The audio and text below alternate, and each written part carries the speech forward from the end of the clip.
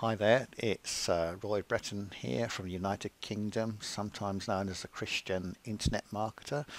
I've just written a, a quick blog post called Keep It Simple. A few things every business website must have. Sometimes I think we definitely overcomplicate things and um, I've written this blog post to try and help you keep things simple if we think about something too much, it can seem highly complicated, but I'm just going to run you through a few headings I've written. Um, I've got a, an article here about building a website in 30 seconds. You can literally put a website up in 30 seconds. And yes, I know there is more to more to than just putting up. We have to add content, we have to do things, but it is so much quicker than what it was uh, 12 years ago when I first started. It cost a fortune to have a website put up, but now so easy. Um, your About Me page, that's one of the most important things you can write about. You can share your experience, you can get a good picture or a video of yourself and uh, just just share a bit of your life with people. Not, not everything, but what, what, the things that are appropriate. Um, your domain name, very important, although maybe not quite as important as it was a few years ago. Um, a domain name um, keep it keep it simple. Just get straight to the point. Like for example, this website is called the Christian Internet Marketer.com. Uh, very simple. I'm a born again Christian. I have a faith in God, and I work online. And I have an offline business too, actually.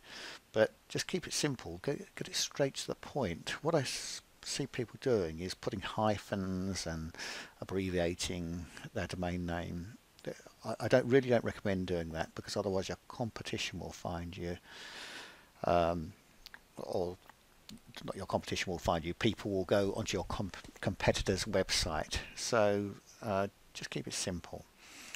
Uh, clear navigation, that's another thing. We all like to go to websites that are clear to navigate. Um, simple drop down menu I think is best and um, yeah, look around before you build your website. Find websites that you like and are simple to navigate. Uh, can your contact page be found? I go to many websites and I can't find a contact page. Make it easy to easy to be found.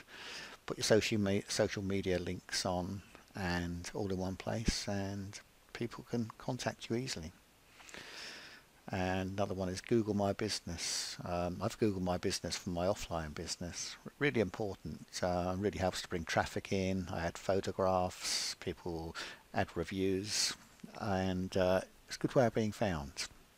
As we know that uh, Google there's a lot of power in being on Google. Uh, testimonials, kind of the same as reviews, but it's good to have testimonials on your actual website if you can. Um, make sure you have a call to action, make it clear what you're offering, and um, show your experience in a good way. Uh, I've written here a little bit about an autoresponder.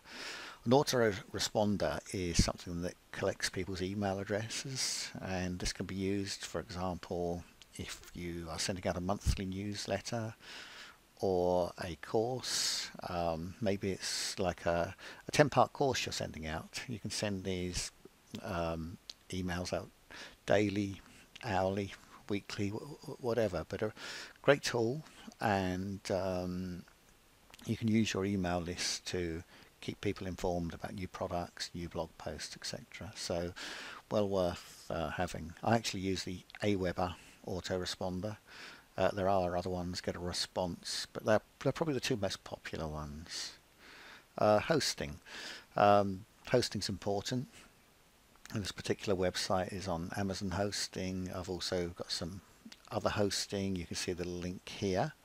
And uh, important to have good, reliable hosting. Hosting where you can speak to someone 24 hours a day if you have a problem. Always very important.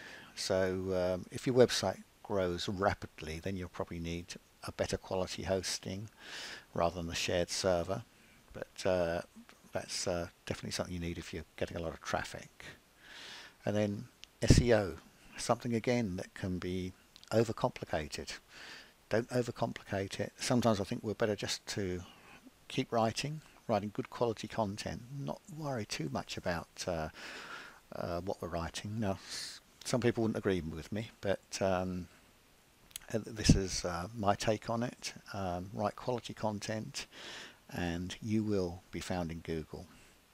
And uh, something else I put here, fresh content and blogging. Uh, add fr fresh content to your website on a regular basis. I um, I try and blog every, every day. It doesn't always happen as I have several websites, but it, I always think blogging is a bit like a shop front. You don't keep your shop front the same day after day. You change it to attract people. This is the same with your websites. Keep, keep adding things, add new content, add more services, uh, write a blog about what you do, and um, people will find you. And if your articles are informative, they will read them. And finally, a people-friendly website. Make it friendly. Uh, don't be abrupt. Uh, be welcoming. Make the text stand out clearly, and um, avoid flashing pictures and moving text because to me this can be a bit off-putting. Um, it can take people away from what they're actually meant to be looking at at. I'm sure I could add more to this. Um, if you'd like to comment below, feel free to. And um, thanks for watching. Bye.